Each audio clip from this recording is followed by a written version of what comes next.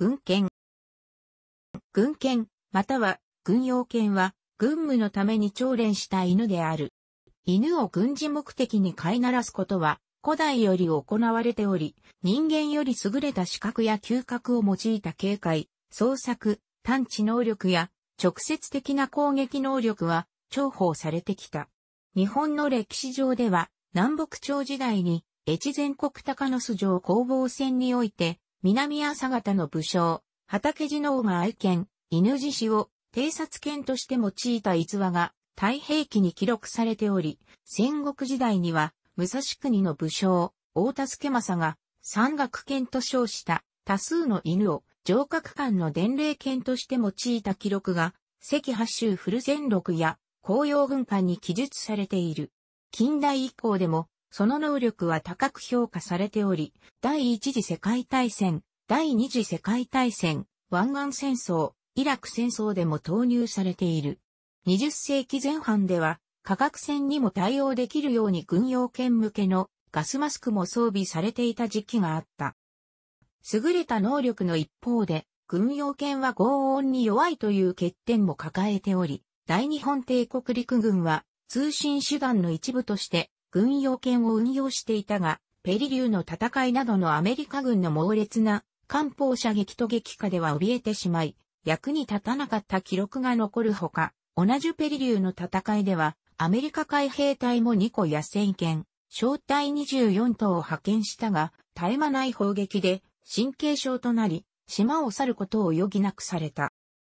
近代以降において、大日本帝国陸軍では、日清戦争、日露戦争にて警備犬としての犬の運用が少数見られ、1910年、明治43年には、台湾の高砂族の武装放棄に際して、探索犬として警察犬の供給を受け運用した記録が残るが、組織としての軍犬の本格的な運用は第一次世界大戦以降、日本国内にジャーマンシェパードの移入が行われて以降である。陸軍不評学校内に軍犬育成所が置かれ、シェパードを中心にドーベルマンやエアデールテリアも用いた軍用犬の育成が行われた。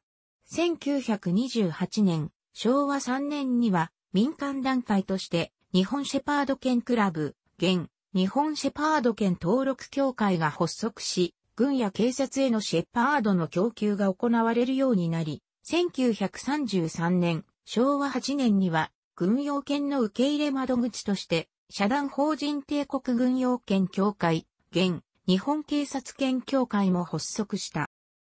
こうした民間からの供給経路を経て育成された陸軍の軍用犬は、満州事変以降、伝令犬や警備犬として中国戦線で顕著な活躍を見せ、人間の兵士同様に犬の出生走行が行われる例も見られるようにな。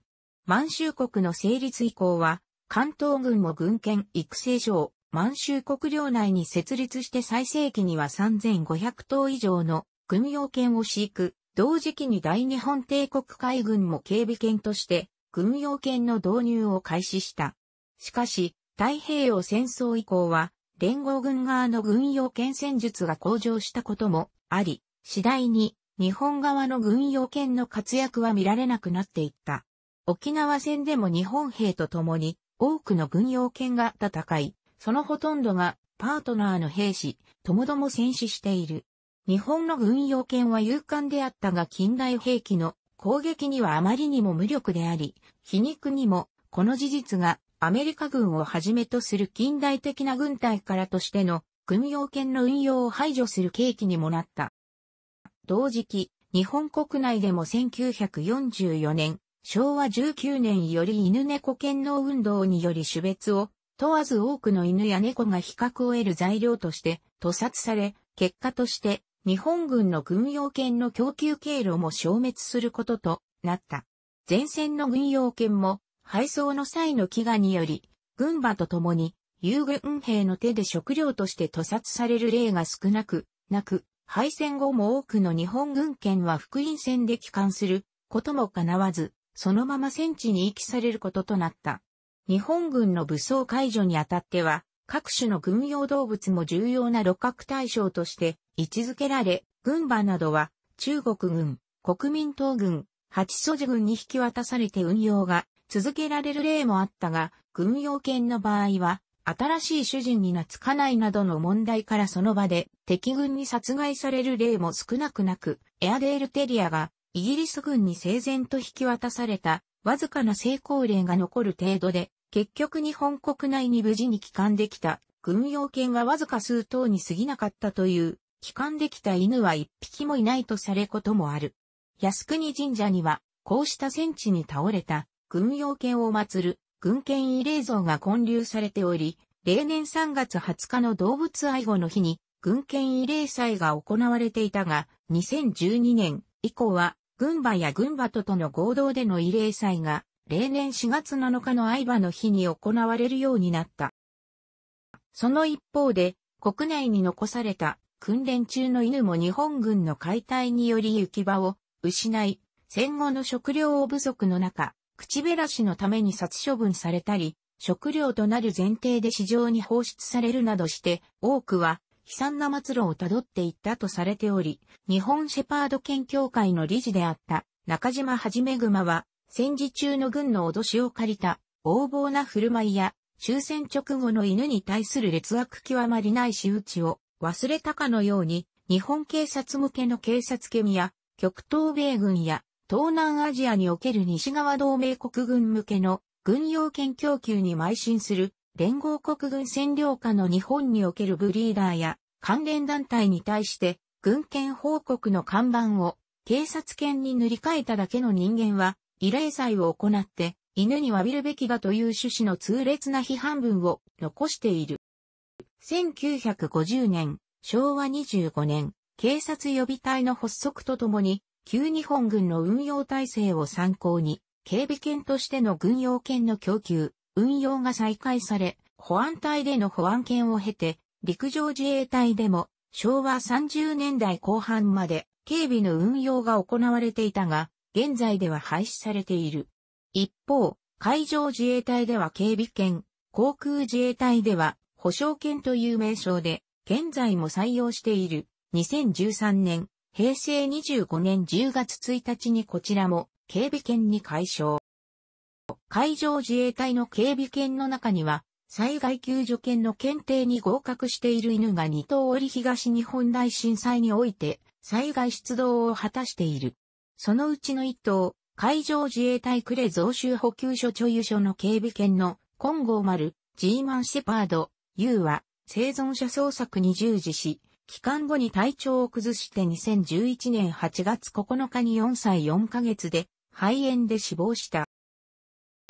古くはセミノール戦争やアメリカ独立戦争にて、伝令犬としての運用記録があるが、第一次世界大戦期にはなどをはじめとする兵士の指揮工場のためのとしての利用に止まり、本格的な軍用犬の運用は第二次世界大戦期より始まった。当初は太平洋の当初戦において日本人のみを選別して殺傷する目的で訓練が行われ、日本兵の捕虜を利用したり、日系アメリカ人部隊が訓練標的に志願したことなどにより、大型犬を中心とする軍用犬部隊が組織されたが、彼ら自身があまりにも従順であったことと、前日の通り砲撃の轟音に弱かったことから、数百万ルの金銭的な損失を出したのみで終わり、このような攻撃犬としての運用は放棄された。戦後、こうした軍用犬のうち549頭が帰国したが、多くは戦時中のハンドラーにそのまま引き取られる形でか、支中に戻れず、最終的に4頭は市民生活に完全に復帰することができなかった。こうした第二次大戦中の軍用犬で最も著名な犬がヨーロッパ戦線においてハンドラーを守るためにイタリア軍の機関重地へ突入、そのまま陣地を陥落させるも負傷して、退役、主君十字章やシルバースター、パープルハート賞の授与を受けたであろ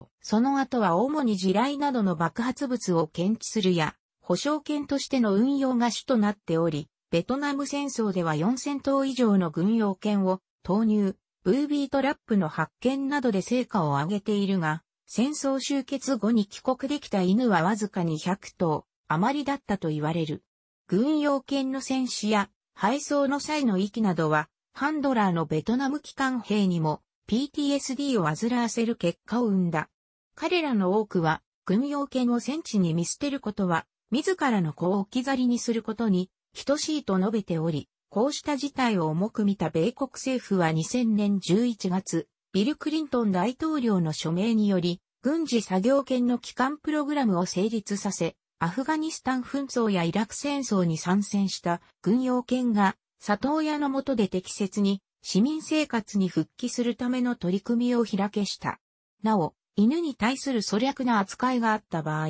軍法会議へかける正当性を担保するため、犬にはハンドラーと同等以上の階級が与えられている。現在でも多くの軍用犬がアメリカ軍では運用されており、2011年にはネイビーシールズが運用するマリノア犬のカイロが海神の槍作戦、ウサーマ・ビン・ラーディンの殺害に参加して成果を得ている一方で、イラク戦争における捕虜収容所やグアンタナモ湾、収容キャンプなどにおいて、尋問の際に軍用犬を捕虜や収容者にけしかける脅迫が用いられているとして、新たな人道上の問題を生み出している。スロベニアにおいて初めて使われたのは1991年の10日間、戦争であった。当時は、主として重要な建物、倉庫、交通の要所での警備犬として、数名の国土防衛隊隊員によって使われていた。10日間戦争終結後、ハンドラー要請のため、第一特殊旅団が編成されている。ハンガリーでは2005年後半に爆発物、武器破壊、イヤドを目的とする軍用犬特殊班を編成し、イヤド大隊に編入させ活動を開始した。2007年の初めに、アフガニスタン北部で爆発物探知犬数等が、アフガニスタン北部で活動していたハンガリー地方、復興支援部隊に配備され、同支援部隊の要員として爆発物探知、及び空港の警備の役割を担っている。イスラエル陸軍には軍用犬の運用を集中的に行う特殊部隊が編成されている。1930年代からハガナーの部隊として活動していたが1954年に一度解体され、現在のオケッツ隊は1974年に再編されたものである。楽しくご覧になりましたら、購読と良いです。クリックしてください。